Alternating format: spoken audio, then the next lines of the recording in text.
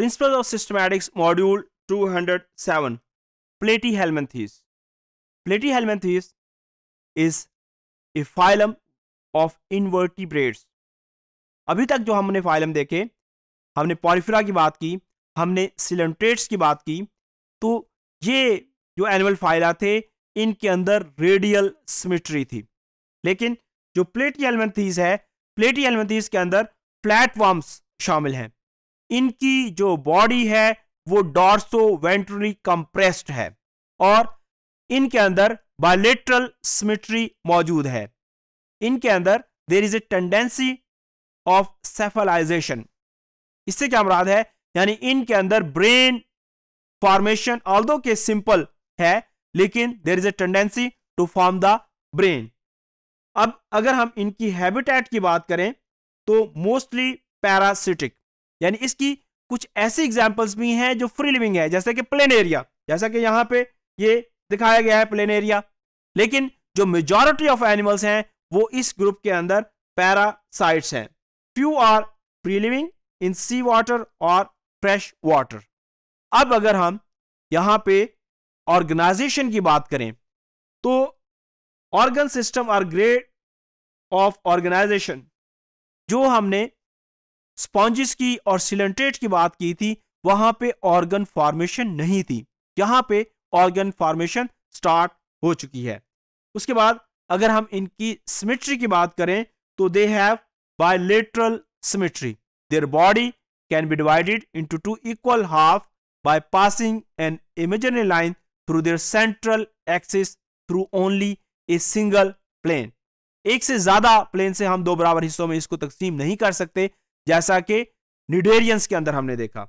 उसके अलावा body is dorso ventrally flatten यानी ऐसे लगता है कि डॉर्सो वेंट्रली इनकी बॉडी को कंप्रेस किया गया है। उसके बाद, अगर हम इस फाइलम की जर्म लेयर्स की बात करें तो ये ट्रिप्लोब्लास्टिक है। इससे पहले जो हमने एनिमल्स देखे, जैसा कि सिलेंटेट्स की हमने बात की, वो डिप्लोब्लास्टिक था। इनवर्टिब्रेट्स के अंदर ये पहला फाइलम है जो कि ट्रिप्लोब्लास्टिक है। यानी जिसके अंदर थ्री जर्म लेयर्स मौजूद हैं, यानी एक्टोडम भी मौजूद है एंडोडम भी मौजूद है और मीजोडम भी मौजूद है। Ectoderm is very specialise with distinct epidermis अब अगर हम सिलोम की बात करें, हमने ये देखा था कि एनिमल्स को हम सिलोम की बेस के ऊपर डिफरेंट कैटेगरीज के अंदर डिवाइड कर सकते हैं सिलोमेट एसिलोमेट या फिर सूडोसिलोमेट अब अगर हम इस फाइलम की बात करें तो इनके अंदर सिलोम एबसेंट है, जो कि एक बॉडी कैविटी है, जिसके बारे में हमने ये कहा था कि it is a body cavity between body wall and alimentary canal तो इस फाइलम के अंदर सिलोम एबसेंट है, इस वजह से इनको हम ए सिलोमेट एनिमल्स कहते हैं। अब अगर हम इनके डाइजेस्टिव सिस्टम की बात करें तो इनका डाइजेस्टिव सिस्टम इनकम्प्लीट और एबसेंट खास तौर पर जो पैरासिटिक इसके मेंबर्स हैं, उनके अंदर डाइजेस्टिव सिस्टम एबसेंट है। उसकी रीजन क्या है? क्योंकि mostly they live inside the body of host जब होस्ट की बॉडी के अंदर ये रहते हैं तो वहाँ ऑलरेडी जो डाइजेस्टेड फ़ूड है, उसको ये कंज्यूम करते हैं। लिहाजा इनको डाइजेस्टिव सिस्टम की ज़रूरत नहीं पड़ती। तो with the passage of time इनका जो डाइजेस्टिव सिस्टम है, वो रिड्यूस होते होते एबसेंट हो जाता है। या इनकम्प्लीट है, या फिर जो पैरासिटिक फॉर्म है उनके अंदर कंप्लीटली एबसेंट है। No mouth no true stomach या stomach structure is present in this group उसके बाद जो टेप फॉर्म है, इनके अंदर डायरेक्ट एब्जॉर्बशन के ज़रिए फ़ूड होस्ट की बॉडी से एब्जॉर्ब हो जाती है। अगर हम इनके स्क्रीटरी सिस्टम की बात करें तो इनके अंदर स्क्रीशन के लिए जो स्पेशल स्ट्रक्चर है, उनको प्रोटोनेफ्रीडिया कहते हैं और प्रोटोनेफ्रीडिया जो है, उनके अंदर खास सिस्टम जिसको हम फ्लेम सेल्स कहते हैं।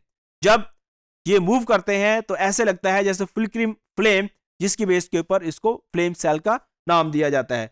उसके बाद अगर हम इनके अंदर रेस्पायरेशन की बात करें तो by simple diffusion of gases through body surface यानी जो बॉडी सरफेस है, उससे डायरेक्टली गैस एक्सचेंज हो जाता है।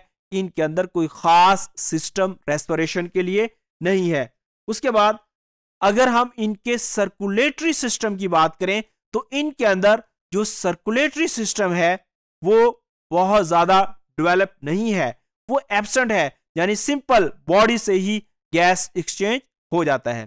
तो हमने ये देखा कि ये जो फाइलम है, इनके अंदर बायोलेट्रल सिमेट्री है, ये ट्रिप्लोब्लास्टिक है, इनके अंदर ब्रेन फॉर्मेशन की तरफ़ टेंडेंसी है, और इनके अंदर जो सिलोम है, वो एबसेंट है। उसके अलावा जो रेस्पिरेटरी सिस्टम है, वो इनके अंदर एबसेंट है या लेस डेवलप है और इनके अंदर जो स्क्रिटरी सिस्टम है, उसके लिए इनके अंदर जो स्पेशल जो स्ट्रक्चर है, जिनको हम प्रोटोनेफ्रीडिया कहते हैं, जिसके अंदर फ्लेम सेल्स भी मौजूद है, उसके ज़रिए होता है। उसके बाद इनके अंदर जो एक खास बात ये देखने में आई है, जैसा कि अगर हम प्लेनेरिया की बात करें या हम टेप की बात करें तो इनके अंदर जो प्लेनेरिया है, उसके अंदर एक ही एनिमल के अंदर दोनों टाइप के जो स्ट्रक्चर्स हैं मौजूद होते हैं मेल और फीमेल इनके अंदर रीजनरेशन की पावर भी मौजूद होती है। उसके अलावा इनके अंदर फर्टिलाइजेशन इंटरनल है और इनका जो लाइफ साइकिल है वो कॉम्प्लेक्स है, क्योंकि ये एक से ज़्यादा होस्ट के ऊपर अपना लाइफ साइकिल कंप्लीट करते हैं। इसकी अगर हम एग्ज़ाम्पल की बात करें तो टेपॉम और प्लेनेरिया है। प्लेनेरिया एक फ्री लिविंग ऑर्गेनिज्म है, जबकि टेपॉम एक पैरासिटिक फॉर्म है।